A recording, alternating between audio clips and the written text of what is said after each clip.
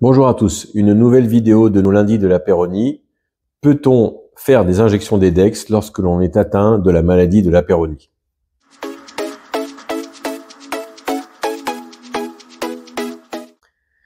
Si vous êtes atteint de la maladie de la péronie et que vous avez des problèmes d'érection qui sont sévères et qui nécessitent des auto-injections d'EDEX, vous avez peut-être lu sur les recommandations euh, du fabricant qu'il ne faut pas injecter l'EDEX lorsque l'on est atteint de cette maladie.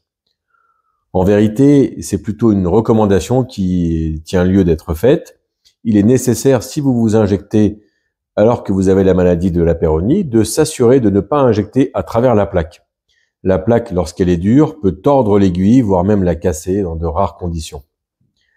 En revanche, il faut savoir que lorsque vous allez obtenir une bonne érection grâce à l'EDEX, il est possible de voir la déformation liée à la maladie de la péronie apparaître, voire même apparaître euh, dans un degré de sévérité que vous ne connaissiez pas avant l'injection d'EDEX.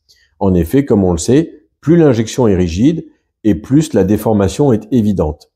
Ne vous, ne vous étonnez donc pas si vous trouvez que la déformation est importante après l'injection d'EDEX, ça n'est que l'effet d'une érection forte.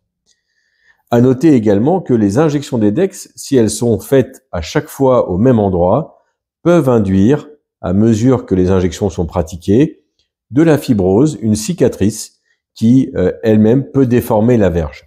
Pour cette raison, il est nécessaire de varier les sites d'injection, possiblement toujours du côté de votre main dominante, à droite si vous êtes droitier, et éventuellement, si vous y arrivez, injecter de l'autre côté.